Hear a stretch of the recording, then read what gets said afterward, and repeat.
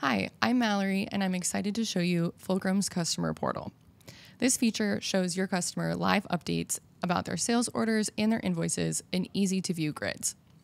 This means that you can stay connected to your customers and keep them in the loop without having to call or email. To get started, you'll share a link with your customers that goes directly to the portal. This is what the sign on screen looks like, and they're going to log in either by creating an email address and password, or they can use single sign on through Google or Microsoft. As long as the email address that the customer uses with you is what they use to log into the customer portal, they will see all of their orders and their invoices right away. Inside the portal, they're going to see two dynamic grids that show all the important details that they want to know. On these grids, they can sort by various things like order date, or they can filter for various statuses. Let's say I wanted to see everything that's in progress right now. You can also search here if there's a certain uh, purchase order that you have in mind. And then you can click a line item to show basic details of the order. The other grid shows you the same information but for your invoices. You can do all the same actions like sorting and filtering. This makes it super easy for your customers to track and manage both orders and invoices that they place with you all right here. Because the data flows live from Fulcrum's production management system, customers will be seamlessly connected to you.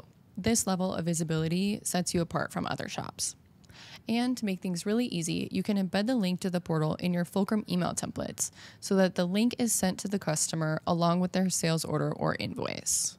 We've also ensured secure access and permissions to the customer portal. This will be an option to turn on for all customers.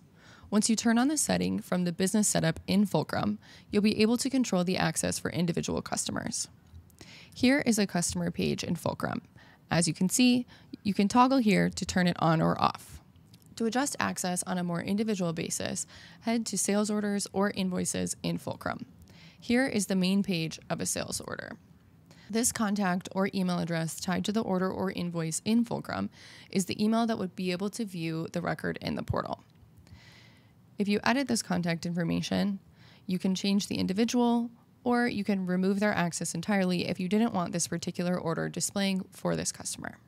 If there is a shared sales account with your customer, you could use the team sales email for your orders as well. These same options to edit individual access, they exist for invoices too. As a Fulcrum admin, you'll be able to log into the customer portal to see exactly what your customers see.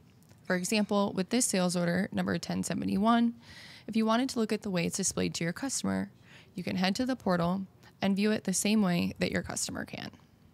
This was a quick overview of the customer portal. You have a lot of options for leveraging this feature to make it work best for you and your business. This tool is a unique feature that Fulcrum is excited to offer, and it's one step closer to creating a digital network of manufacturers.